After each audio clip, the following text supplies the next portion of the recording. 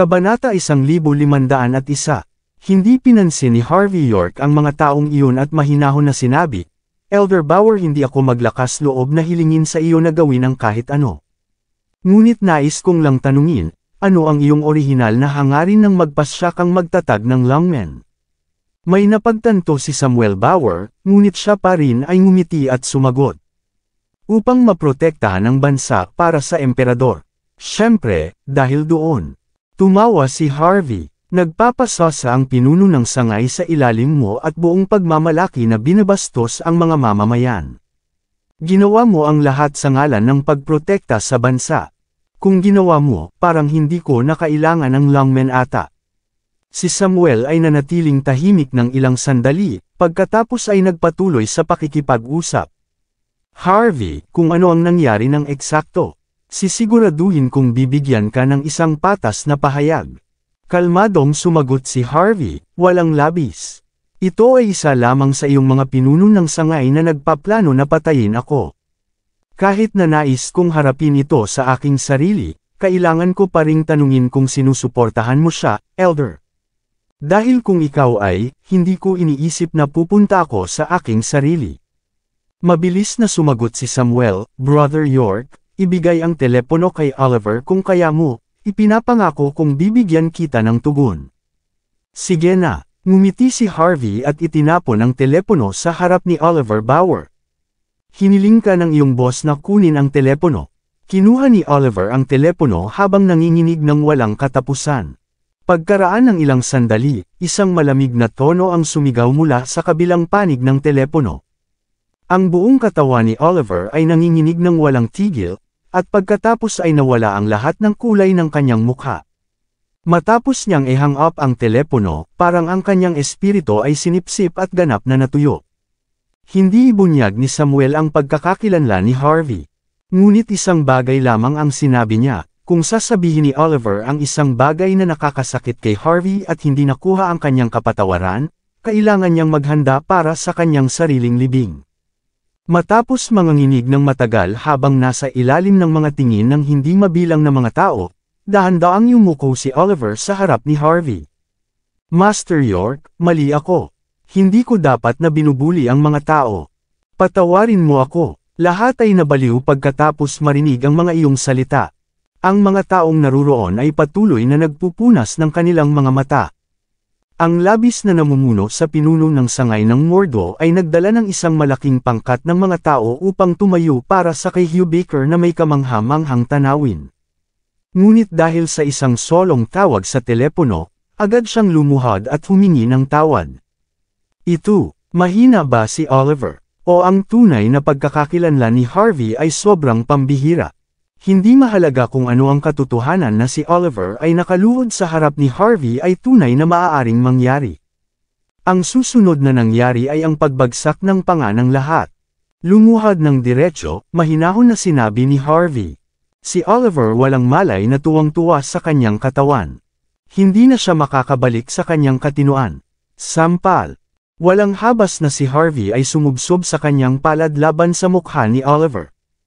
Ito ay para sa iyo, ang pambubuli ng mga tao at nakasisira sa pangalan ng longmen. Sampal, ito ay para sa iyo, na hindi magagawang magkakaiba ng tama mula sa mali at pagtakip para sa iyong kamangmangan. Sampal, ito ay para sa iyo, na kinukuha ang mahihina at walang pag-aalaga sa batas. Walang awa si Harvey, dumuduyan ang kanyang palad at backhand sa buong mukha ni Oliver ng isang dosenang beses. Ang mga hampas na iyon ay tumama ng husto. Kahit na si Oliver ay isang maimpluwensyang tao, siya ay nasample pa rin hanggang sa kung saan ang kanyang mukha ay pulang-pula at ang kanyang katawan ay hindi nagtatapos. Ang kanyang tingin ay napuno ng puot, kahit sino ay maaaring sabihin na si Oliver ay nasa gilid ng pagsabog. Ngunit dahil sa nakaraang tawag sa telepono, hindi rin siya maglakas loob na gumanti. Ang karamihan ng tao ay nabigla at natakot.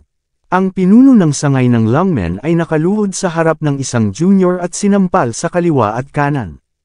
Walang sino man ang maniniwala dito kung wala sila doon upang makita ito para sa kanilang sarili. Hindi mahalaga kung ano ang background ni Harvey York o kung sino ang tinawag niya. Ngunit ang tagumpay ay napagpasyahan na.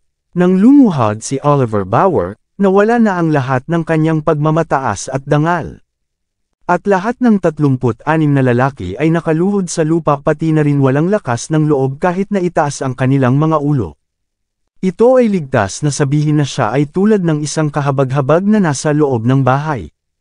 Ang mga tao na tumayo para sa kay Hugh Baker ay lubos na natakot sa tanawin at pagkatapos ay tahimik na umatras.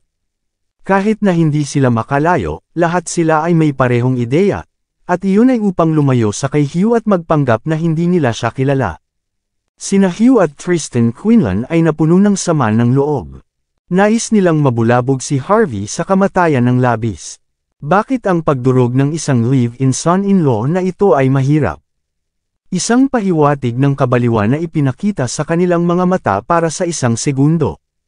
Hindi mahalaga kung sino ang tumawag kay Harvey, ngunit naniniwala si Hugh na sa pag-uugali ng kanyang ninong, tiyak na gagantay siya sa nangyari. Dapat lang maghintay si Harvey sa kanyang kamatayan, tulad ng iba pang pamilya. Dapat mong pakiramdaman na hindi nasisiyahan sa akin gamit ang pangalan ni Samuel Bauer upang sugpuin ka, tama. Halos tapos na si Harvey sa kanyang palad. Pinupunasan niya ang kanyang mga daliri habang mahinahon siyang nagsalita. Napuno ng inis ang tingin ni Oliver. Galit na galit siya. Ngunit sa sandaling ito, maaari lamang niyang ibaba ang kanyang ulo at tumugon, syempre hindi. Tulad ng sinasabi, nabigo siya sa araw na iyon, ngunit magkakaroon siya ng isang libong mga paraan upang mabayaran ang pabor sa lalong madaling panahon. Dapat lang siyang sumuko sa sandaling iyon. Ang kanyang reputasyon ay nabahiran pa rin. Kalmadong nagtanong si Harvey, parang naramdaman ko na ang aming mahal na si Leader Bauer ay hindi nasisiyahan. Kung may pagkakataon, tiyak na hindi ka magatubiling wakasan ako at ang buhay ng aking pamilya, tama. Natigil si Oliver, pagkatapos ay tahimik na sumagot, o, hindi ako maglakas loob. Kontento na ako, ikaw ba ngayon? Tumawa si Harvey. Walang silbi kahit ikaw ay. Ang lungmen ay kumakatawan sa autoridad ng mga puwersa sa ilalim ng bansa. Ang mga taong katulad mo bilang pinuno ng sangay ay nagpapatunay na ang lungmen ay lumihis mula sa mga orihinal na hangarin nito. Kung hindi ka makontrol ni Samuel, gagawin ko ito. Dahil hindi kanya pinatay, gagawin ko ito sa halip. Thud. Bago matapos ang talumpati ni Harvey, bigla siyang nagtapon ng sipa sa dibdib ni Oliver. Nais ni Oliver na mag-react, ngunit ang kanyang paggalaw ay mas mabagal kaysa sa kay Harvey. Naramdaman ni Oliver na parang bumubulusok ang kanyang tiyan na parang isang martilyo ang sumabog sa kanya sa susunod na sandali. Ang natitirang lakas sa kanyang katawan lahat ay natanggal. Hindi man siya lumuhad ng diretsyo pagkatapos nito. Nakahiga lang siya sa sahig na paralisado, ang kanyang tingin ay puno ng sakit at kawalan ng paniniwala. Sigaw ni Oliver sa sandaling ito, Harvey York, ano sa palagay mo ang ginagawa mo? Wala naman, hindi mo na mapapagana ang paggamit ng alinman sa iyong mga kasanayan. Tumugon si Harvey na may mahinahon na tono. Kung hindi dahil kay Samuel, patay ka na ngayon. Para kay Harvey, hindi niya pinansin ang mga taong tulad nito na namamatay. Ngunit dahil tinawagan niya si Samuel, tiyak na dapat siyang magpakita ng paggalang sa elder ng army. Bastard, malakas na bulalas ni Oliver. Nagpupumiglas siyang bumalik pataas, ngunit naramdaman niya na wala na siyang lakas na naiwan sa kanyang katawan. Walang kahihiyan, walang kahihiyan ka, Tyson, basagin ang kanilang mga binti at itapon ang mga ito sa buckwood. Kung babalik sila muli, mamamatay sila. Hindi man lang nanligaw si Harvey kay Oliver at pinadalhan si Hugh na lumilipad gamit ang isang sipa. Maraming salamat sa lahat ng sumusubaybay please subscribe and follow my YouTube and Facebook channel, Filipino Novel, maraming salamat po. Sa Gardens Residence, maingat na lumakad si Harvey York sa loob, malapit ng tumungo sa banyo. Sa pamamagitan ng isang tunog ng pag-click, ang buong sala na kasing dilim ng gabi ay nailawan. Sina Mandy Zimmer at Cynthia Zimmer ay nakasuot ng pijama sa sopa, niyakap ang kanilang mga braso habang nakatingin sa kay Harvey. Si Master York, na bumugbog lamang sa isang pinuno ng sangay ng lungmen, ay naramdaman na ang kanyang ulo ay naging manhid. Kailangan niyang pilitin ang isang ngiti at magtanong, Mandy, Cynthia, bakit hindi pa kayong dalawa natutulog? Ano ang ginagawa mo sa labas? At bakit ka bumalik ng late?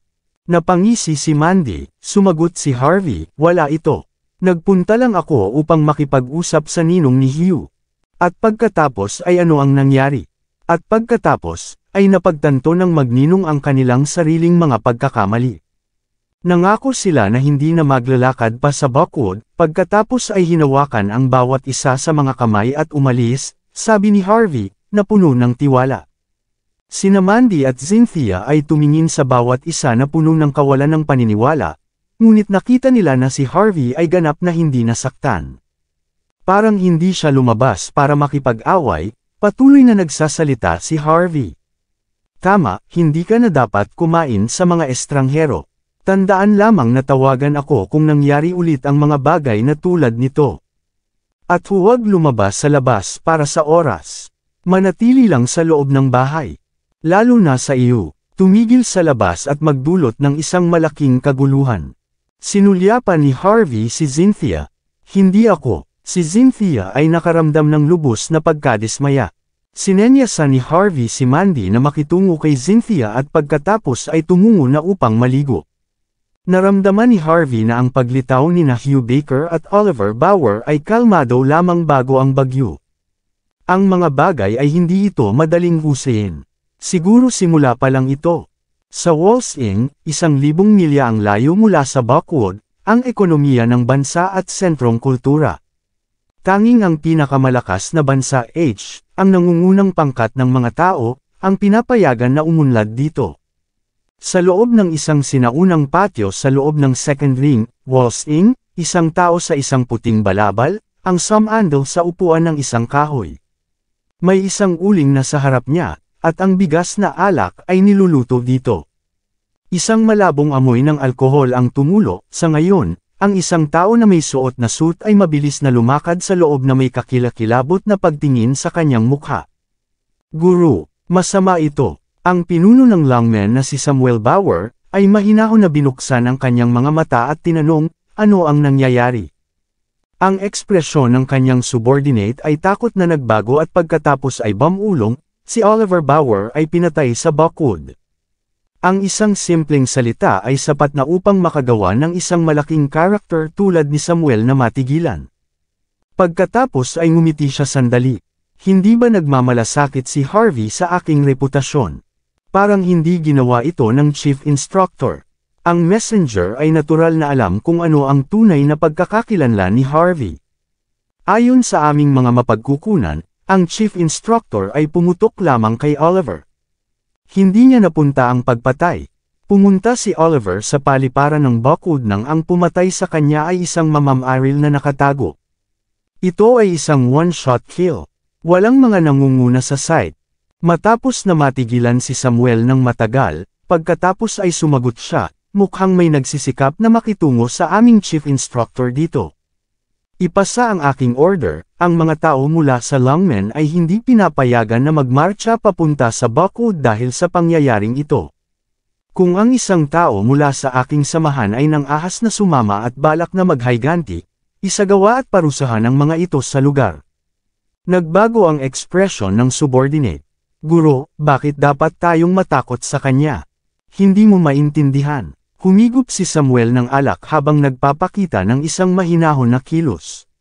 Tanging ang mga tao na lumalapit sa taong iyon ang nakakaalam kung gaano siya kalakas. Pinigilan ko sila na pumunta lamang dahil hindi ko nais na ipadala nila ang kanilang sarili sa kanilang sariling pagkamatay. Bukod, kahit na ako ay hindi maaaring makipagkompetensya sa kanya. Ang ekspresyon ng subordinate ay nagbago muli. Siya ay nasa kabuoang kawalan ng paniniwala. Sa susunod na araw, si Harvey York ay nakakuha ng balita kay Oliver Bauer na pinatay ng maaga sa umaga. Matapos tumawag kay Yannick Bison, nagpunta si Harvey sa isang funeral parlor. Ang katayuan ni Oliver ay masyadong pambihirang. Iyon ang dahilan kung bakit bukod kay Yannick, nandoon din si Yoel Graham. Sa loob ng morgue, mayroong isang katawan na kasing mapotla ng isang multo. Ito ay walang iba kundi si Oliver mismo, ngunit may karagdagang pulang tuldok sa kanyang noo. Sinukat ni Harvey ang katawan at mahinahon na tinanong, ano ang nangyari dito? Huminga ng malalim si Yannick at sumagot, pagkatapos umalis si Oliver at ang kanyang grupo sa parking lot kagabi, nagpunta sila sa Edward Hospital upang gamutin ang kanilang mga pinsala. Pagkatapos ay nagtungo sila patungo sa Buckwood International Airport kaagad. Mga labindalawang milya ang layo mula sa paliparan, hiniling ni Oliver na buksan ang bintana ng kotse nang umalis sila sa distrito ng lungsod. Ito ay pagkatapos ang isang bala ay pumasok mismo sa kanyang ulo. Ito ay isang one-shot kill, ang tumpak ng taga-baril. Walang ordinaryong tao ang maaaring gumawa ng shot na iyon kung hindi sila nagsanay sa militar ng maraming taon. Natagpuan namin kung ano ang tila ang sniping spot sa isang tirahan na malapit sa Buckwood Police Station. Mula sa mga hitsura ng mga bagay, dapat na tinipon ng taga-baril at ipinasadya ang kanyang sariling armas. Hindi ito isang umiiral na armas. Iyon ang dahilan kung bakit mahirap masubaybayan ang pagkakakilanlan ng taga-baril sa ganitong paraan. Kalmadong tinanong ni Harvey, mayroon bang mga sospek? Si Yannick ay isang malaking karakter, kahit gaano ito katingin sa mga tao.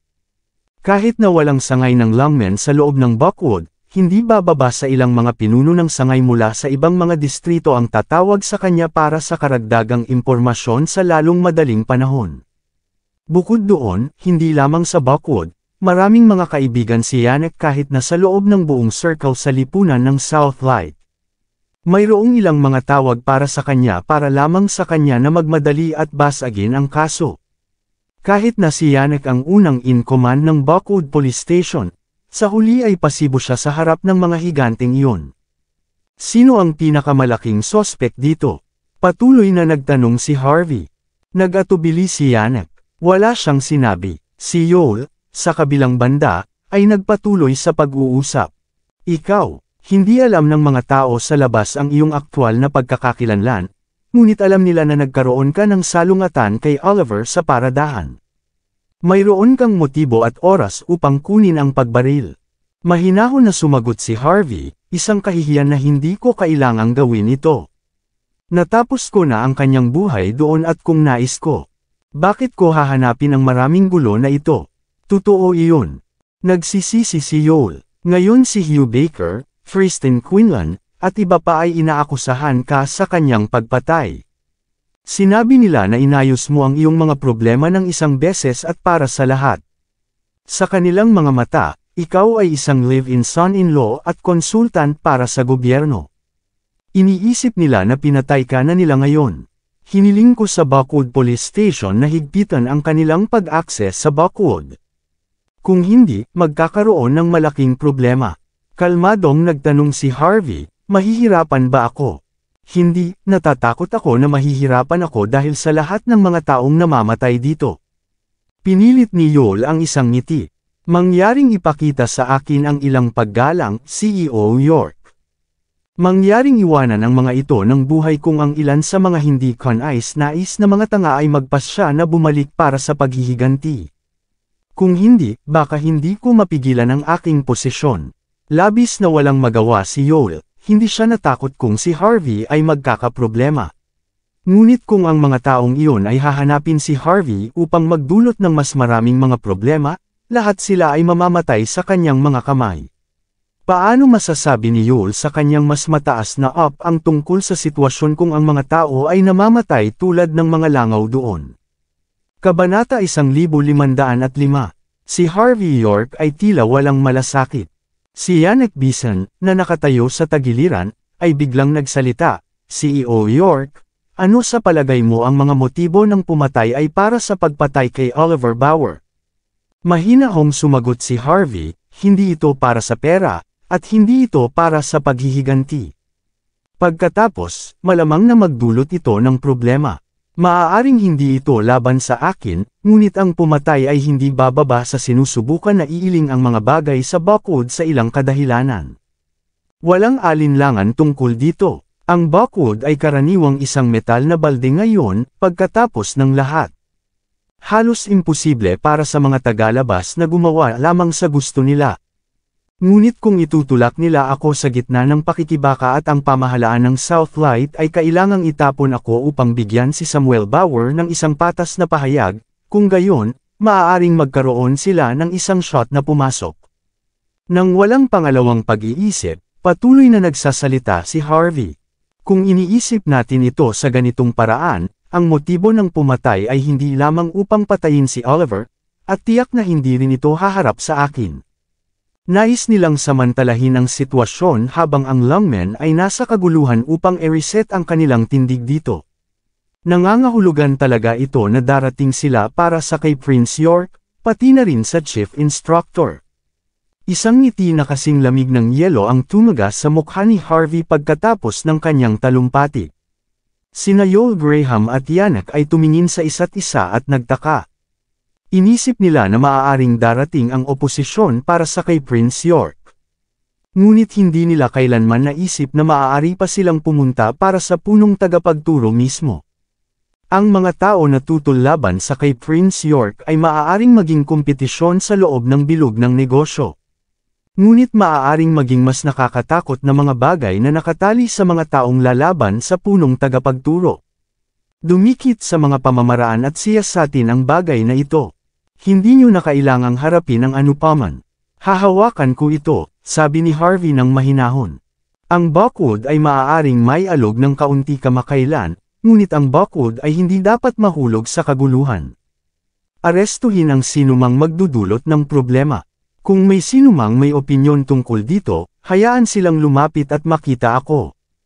Yes sir. Si Yol at Yanak ay tumayo ng diretsyo gamit ang kanilang mga kamay na nakatiklop. Yamang sinabi ng taong ito ang salita, wala nang ibang sasabihin. Ang sitwasyon ng Buckwood ay mas masahol kaysa sa dati. Ito ay ang kalmado bago ang bagyo. Lumabas ang tatlo sa morgue habang nag-uusap sila. Di nagtagal, nakarating sila sa pasukan. Malapit nang umalis si Harvey. Ang malakas na tunog ng mga kotse ay hindi nagbabago ng malayo sa sandaling ito. Ang ilang mga kotse pagkatapos ay dominanteng tumigil mismo sa pasukan. Mayroong isang dosenang kalalakihan at kababaihan ang lumabas mula sa mga kotse sa lalong madaling panahon. Lahat sila ay nagsusuot ng mga damit na nagdadalamati sa kanilang mga ekspresyon na malamig na yelo. Tumingin si Yol sa mga taong iyon at bahagyang sumimangot, na parang nagulat siya na nagpakita sila. Ang ekspresyon ni Yannick sa kabilang banda ay kakilakilabot. Inutusan niya ang mga tao na isara ang mga port ng pagpasok ng Buckwood, ngunit kahit papaano ay nakapasok sila sa loob. Malinaw, alam nilang lahat kung sino ang mga taong iyon. Walang sinabi si Harvey, tiningnan niya ang tanawin na puno ng pag-usisa. Ang isang matangkad na babae na may magandang mukha ay nangunguna sa mga taong iyon. Ang kanyang buhok ay nakatali habang nagpakita siya ng isang malamig na tingin, Isang mapagmataas na ekspresyon ay malinaw na ipinakita sa kanyang mukha. Inis kanya ang kanyang paligid sa sandaling ito. Ang kanyang tingin pagkatapos ay nakarating sa kay Harvey, pagkatapos ay malamig niyang bulalas, ikaw si Harvey York. Prinsipe York. Naturally, medyo kilala niya. Hindi bababa sa alam niya ang tungkol sa pagkakakilanlan ni Harvey. Ngunit kahit na ginawa niya, isang malakas na hangarin ng pagpatay ay lumalabas pa rin mula sa kanyang katawan. Nang malapit nang magsalita si Yoel, kumaway si Harvey at mahinahon na sinabi, Ako si Harvey. Sino ka? Ako ang pinakamahusay na alagad ni Oliver, si Rachel Hardy. Nakatingin si Rachel kay Harvey na may nagyayelo na tingin. Mukhang tama ang lahat na sinabi ni Hugh Baker. Gumagamit ka ng pangalan ng lungmen upang takutin ang aking Panginoon, Pagkatapos ay walang kahihiyan na dinurog siya at pinatay siya sa kalaunan. Kung hindi, isang libo sa iyo ay hindi kahit na maglagay ng isang daliri sa kanya.